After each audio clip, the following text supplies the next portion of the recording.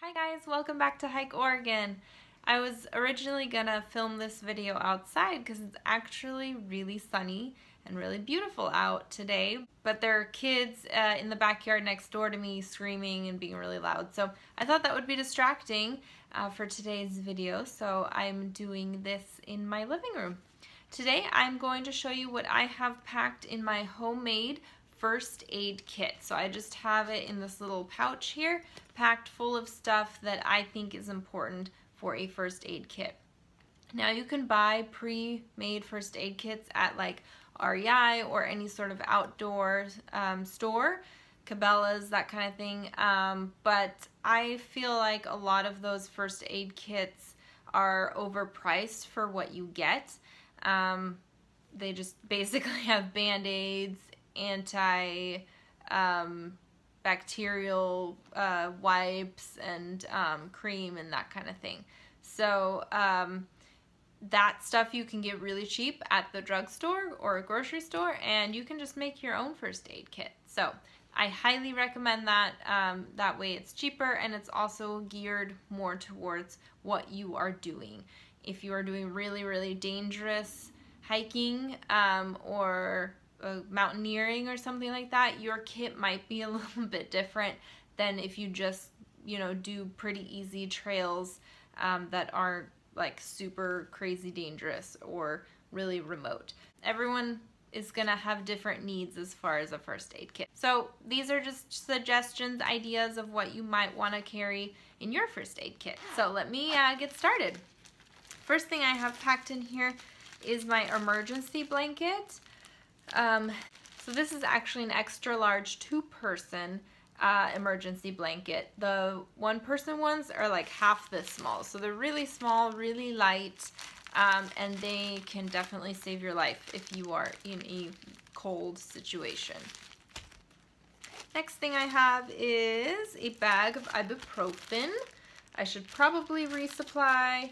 Um, still have quite a few in here, but it's really, really handy to have if someone gets hurt or even if you're on a very long hike and your ankles get sore or your knees get sore, that kind of thing. If you take ibuprofen right away, that'll keep the swelling down and make you uh, feel a little better in the next days after your hike.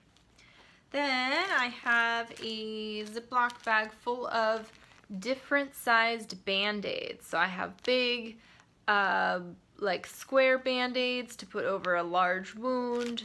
Then I have small band-aids like for a blister, medium band-aids here, and then like pretty large band-aids. So all sorts of sizes for whatever you may need. Then I have some tape here as well uh, for blisters or if you needed to um, tape a large bandage over a wound. This is, this is really great. Then I have in another little Ziploc bag some cotton swabs and some um, Q-tips as well as a little sewing kit. Then I have my knife here. Uh, this is a knife, I believe we found it somewhere. I believe we found this um, on a trail actually, so I, this is actually a really nice little really light, awesome knife. It's really sharp, um, stainless steel.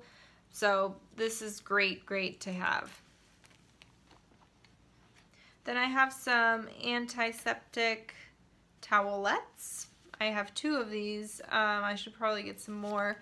But this is just in case you get a cut or a scrape or some sort of wound um, that you would need to clean out. Another thing that I don't have because we used it on the Pacific Crest Trail hike that I need to resupply in here is some antibacterial ointment. Um, this, if you are hiking or backpacking for uh, a, a, number of days, uh, a wound can really get infected, especially if you're not keeping it, you know, 100% clean. Like you know, when you're backpacking, you are a little dirty. You're most likely bathing in lakes and that kind of thing. So a wound can easily, easily get infected. So antibacterial ointment such as Neosporin or something like that is really handy to have. So I need to resupply that in here. Next I have some waterproof matches. Um, I heard that these can expire actually. I was watching someone else's video and they were saying that they tried to get a fire started with these that they'd had in their pack for a while and uh, they actually didn't work. So I need to go ahead and try these and see if they still function. Next I have a mirror, just a little mirror.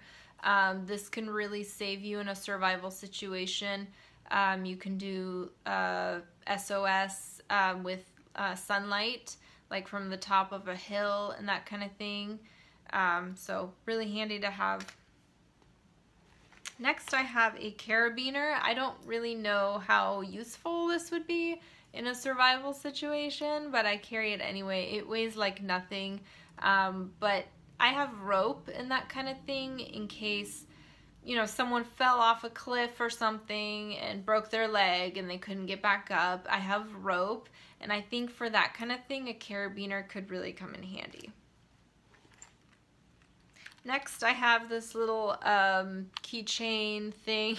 so in here, I've never had to use this, but in here is a, um, it's one of those plastic masks that you put over someone's um, mouth if you are giving them mouth to mouth like breathing um, for like uh, what do you call it CPR um, so you don't get any diseases that kind of thing. And next I have my potable aqua water purification tablet so these are the iodine tablets. I got these on Amazon for like five dollars this is really, really handy to have, especially if you are in a survival situation, like you're on a day hike, all of a sudden you're lost, you are out of water, you obviously aren't backpacking, so you don't have your water filter with you. These will save your life. So these, I would put these in any first aid kit one of the most important things is you do need water. Then I have a fire starter. I do also have a lighter in my um, day pack but you know just in case that got ruined or it's empty or that kind of thing I can start a fire with this as well. So basically you just you would take your knife you shave the magnesium off here and then you would start the spark by going like this. So really handy to have as well. Then I have some nail clippers like really tiny ones. I don't really know how handy these would be but I have them anyway um, and let's see, moleskin for blisters. Dr. Scholl's two things of moleskin. And last but not least, I have a large gauze thing. This is quite old. I should probably replace it. I've had this first aid kit for quite a while, but it's a four by four inch gauze square. So if someone has a large wound, I would take this tape that I had earlier, put the gauze, wrap the tape, there you go. And that is it. That's all that's in my first aid kit. Like I said, the Neosporin I'm going to replace. That is very important. And uh, let me know what you have in your first aid kit. Maybe I can get some more ideas of uh, things that you think are necessary to have in here. And if you are making your own first aid kit, maybe you got some ideas from this video. Okay, see you next time. Thank you so much for watching. Bye.